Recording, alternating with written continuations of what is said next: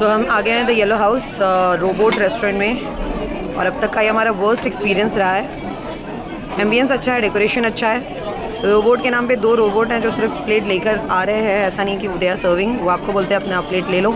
And again उनके सर पे टैप करो। सो so, कभी कभी वो अकेले आते हैं तो आपको ही सामान लेकर रखना पड़ता है एंड टैप करना पड़ता है। और कभी कभी उनके पीछे कोई है जो ये काम कर रहा है। सर्विस बहुत स्लो है। हमें आए हुए आधे घंटे से ज़्यादा हो चुका है। Actually more than thirty five minutes हो चुका है। हमें अब तक हमारा ऑर्डर नहीं मिला है। जबकि हमसे बोल के गए थे कि बीस पच्चीस मिनट में आपका ऑर्डर रेडी होगा। बीस पच्चीस मिनट सुन के भी हमें बहुत ज़्यादा लगा था। स्टिल हमने कहा चलो ठीक है। बहुत कॉस्टली है फ़ूड बहुत बहुत बहुत ज़्यादा कॉस्टली है एंड उसके कंपेरेटिव जो क्वांटिटी है खाने का वो बहुत बहुत बहुत कम है।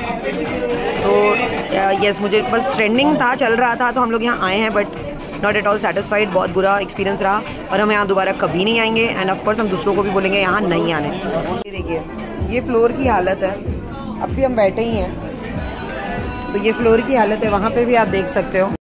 अगर आप सिर्फ़ दो रोबोट को यहाँ वहाँ टहलते हुए देखने के लिए तीन चार हज़ार रुपये खर्च करने को तैयार हो यू आर वेलकम अदरवाइज़ ऐसा कुछ यहाँ पे खास नहीं है जो आपको कहीं और नहीं मिल सकता।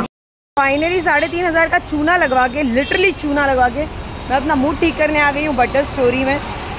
कैन यू सी वो उसके नीचे ही है? आई जस्ट होप यहाँ पे मेरा मूड बिल्कुल अच्छा रहे। हाँ वैसे मीठा है तो मूड अच्छा हो ही जाएगा। लेकिन प्लीज़ कभी मत आना द रोबोट रेस्टोरेंट में।